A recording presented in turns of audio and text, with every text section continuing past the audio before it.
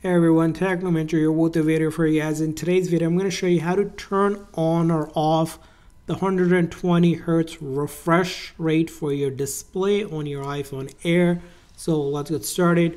So very first thing you're going to do is go into your setting and then from there on we're going to go to accessibility and then from there we're going to see under the vision section motion we're going to click on motion and then scroll all the way down until we see the section that says limit frame rate.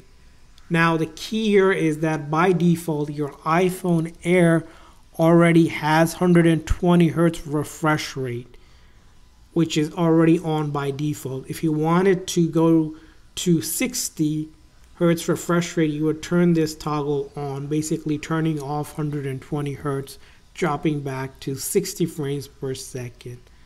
So that's how you would do it. And if you want to go back to 128 hertz and later, you just turn this toggle off.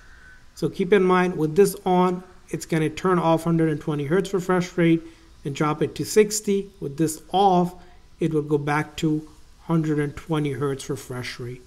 So that's how you turn on and off the 120 hertz refresh rate on your iPhone Air. I hope this video was helpful. If so, please consider hitting the like and subscribe button for more tips and tricks. We'll see you guys next time.